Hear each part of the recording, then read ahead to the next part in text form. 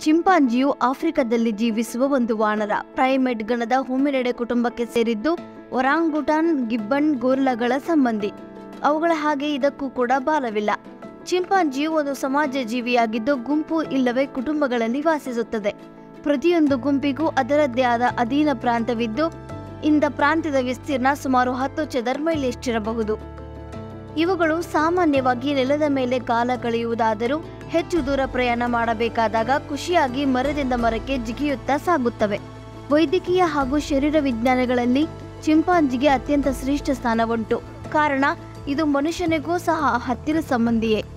ಅಷ್ಟೇ ಅಲ್ಲದೆ, ಮಂಗಗಳಿಗಿಂತ ಮನುಷ್ಯನಿಗೆ ಹತ್ತಿರ ಎನ್ನುವುದನ್ನ ತುಲನಾತ್ಮಕ ಅಂಗರಚನಾಶಾಸ್ತ್ರ, ಶರೀರ ವಿಜ್ಞಾನ ಶಾಸ್ತ್ರ ಮತ್ತು ಜೀವ ರಸಾಯನ ಶಾಸ್ತ್ರಗಳ ಸಂಶೋಧನೆಗಳ ಮೂಲಕ ಖಚಿತಪಡಿಸಲಾಗಿದೆ. ನಮ್ಮ ಮಾಹಿತಿ ನಿಮ್ಮ ಯಶಸ್ಸು. ಕಲಿಕೆಯ ಹಾದಿಯಲ್ಲಿ ಕಲಿಯ ಜೊತೆಯಲ್ಲಿ.